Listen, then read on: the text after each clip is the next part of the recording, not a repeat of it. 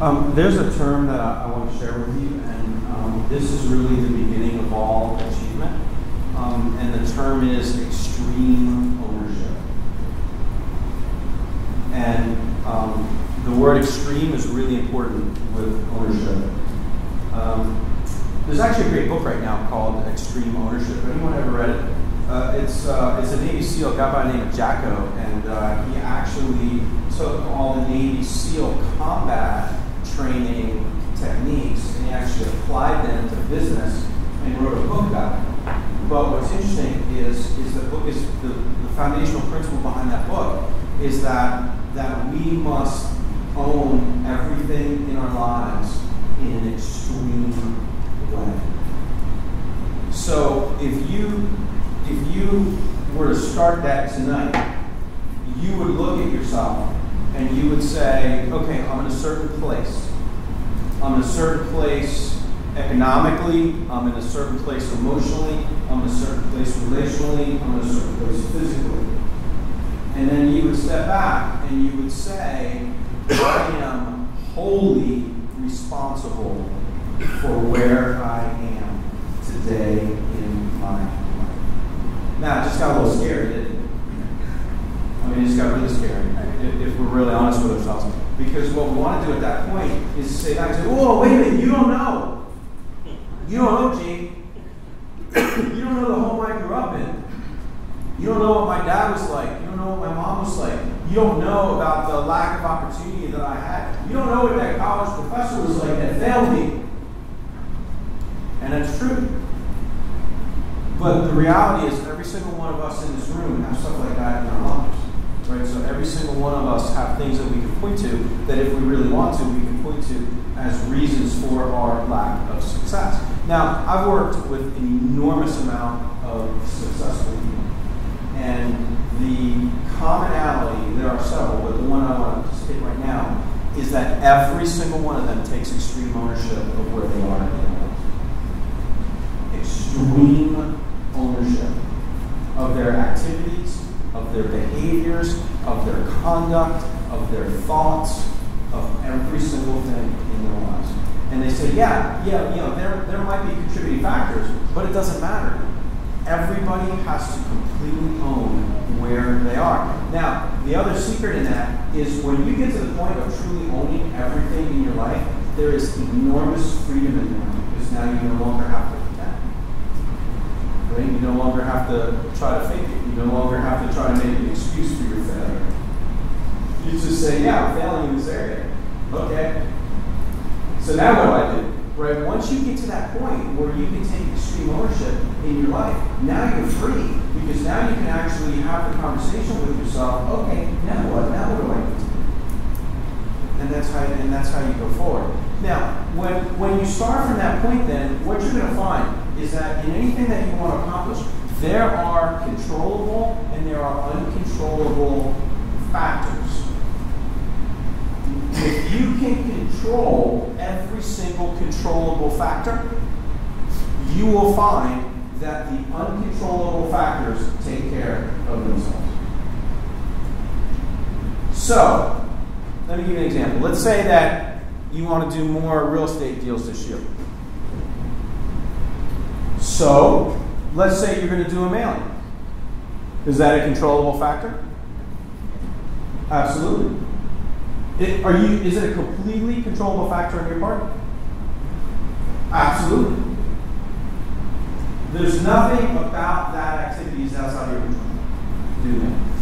Absolutely nothing. Now, is how you coordinate that with a website address controllable? Yeah. Is how you put that information into a database controllable? Is the phone number you choose to put on the card controlled? Now, can you control whether that person calls you or not? No. But it's just a matter of statistics. If you do a mailing, a certain amount of people are going to call you. So you have an uncontrollable factor that you manage based on a factor you can control. Now, when that person calls you, can you control whether you pick up the phone or not? Yes. Absolutely. Now, let's say you pick up the phone and you have a conversation with that person. Can you control whether they are willing to meet with you to talk about them selling the house to you? No, you can't. But if you control picking up the phone, then you'll find that a certain percentage of the people that you will talk to, you will end up in their house. Now, can you control whether the person sells you that house at a price that makes it work for you? No. But can you control your ability to have that conversation? Um, the guy in the wholesaling podcast, I was listening to a couple of them today actually, and uh, he was uh, he was talking about script, and he was talking about the two two one two script, and uh, that's like my nickname for it.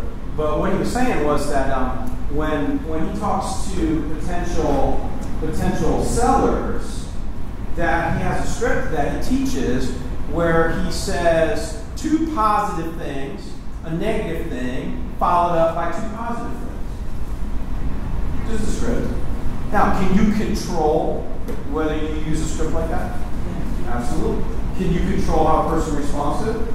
No. But do you think that if you control how you say that script, do you think that's going to have an effect on how many people respond to it? Do you see a secret? If you learn to control everything in the process that you can control, you will find that the uncontrollable will begin to be tamed. It's just a matter of statistics. Right? If you want to do more deals, there's two ways to do more deals. One is talk to more people. The other is get better at people you talk to. You know, whenever I'm uh, whenever I'm working uh, with a real estate agent and they're not meeting their performance goals, um, ninety percent of the time they're just not doing what they need 90% of the time. I mean, basic stuff. What time are you getting up? Uh, that's not early what time you going to bed? Uh, that's too late. What are you favorite? What are your favorite three TV shows? This, this, this. Man, they're on right now. You watching them right now? That's not good enough. What are you binge watching on Netflix right now? Oh, you should see this new show. This came out. I'm like, that's not good enough. And then, you know, then you get a news cycle. Oh, no. How much news are you watching? Do you know that some of the most successful people I work with don't watch the news? it's really true. It's really true. Um, so 90% of the time, it's the activities and behaviors. So what that means is that you can control 90% of the outcome. Now, what do you think the other 10% of it is? no, this is a real thing. What do you think it is? They stink at what they're trying to do. No, that's really it. But here's the thing. That's not that's a problem that can be solved. So if I'm coaching someone and, and I'm saying, okay, are you are you doing this and this and this and this and this and this and this? And they say, absolutely, Jamie, I am doing those things every single day, and they're just not working. I'll say, are you sure you're not lying to me? And let's say they're not, and they're really doing those things. And I said, okay, let's let's role play with it. Let's pretend that I own a home and I need to sell it, and you're at my front door and I just opened the door and you're talking to me. What are you going to say? And they go. I'm like, yeah, that's horrible. okay, try this. Right? And we'll role play. And I'll say, okay, let's I'll role play what you're supposed to say, you role play the other person, and let's role play it. And they'll say, okay. And then I'll say, now you try. Now they'll try it, and it's like pulling teeth. Right? It's like they're having to think through every single sentence. But then we'll role play it ten times. And do you think by the tenth time they get a little bit better? Then we'll role play it twenty times. Then we'll role play it 30 times and we'll be like, man, come on, do I have to do this again? I'm like, yeah, do it again. You want to get good at this what? Then, we'll, then I'll say, okay, now this week, I want you to go practice that in as many situations as you can. And invariably, the same thing always happens. They come back a week later, and I'm like, wow, that is completely different. And suddenly the light bulb goes on, right? Here's what I want to say if you can get the first 90% where you can actually do the activities,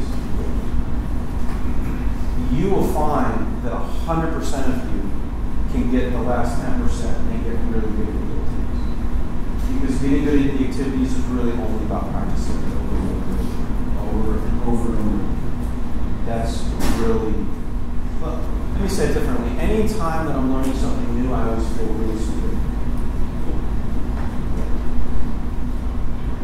Every time. It, it, it never goes well. And so what that means is that to really get good at something, you have to be able to live in the discomfort zone for a while until you get good at it. Now, here's the thing that really stinks. If you get really good at it, then you get comfortable at it. What if you just stop there? Then you don't get any better. So in order to get better, then you have to step back out of your comfort zone again, and you have to get discomforted. And so you'll find that the people that really succeed at a high level are able emotionally to live in the space of discomfort on an ongoing basis while they're continuing to learn and grow new things. Have you guys ever heard of like Pat Flynn? Heard of Pat Flynn? Um, really big, uh, really big kind of online guy. Anyway, um, he talks about how, you know, one thing that, that he teaches is that every single day do something that you're really uncomfortable about doing. Like every single day. You sit down and, and you're out to lunch and the food comes and it's not what you ordered. Well, get uncomfortable. Talk to the waitress and say, hey, this is not what I ordered. Can you bring it back and please give me what I ordered? That's uncomfortable, right? 90% of people just wouldn't say a word, just would eat.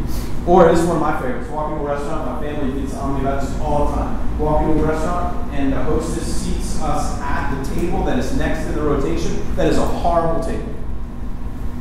And I say, excuse me, can we sit there?